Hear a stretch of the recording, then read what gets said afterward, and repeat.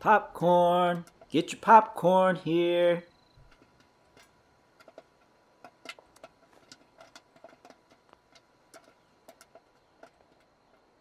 Woohoo! We got some popcorn!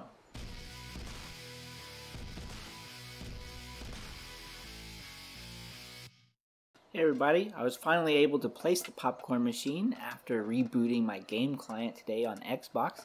Gives you a nice buff of HP and uh, AP regeneration.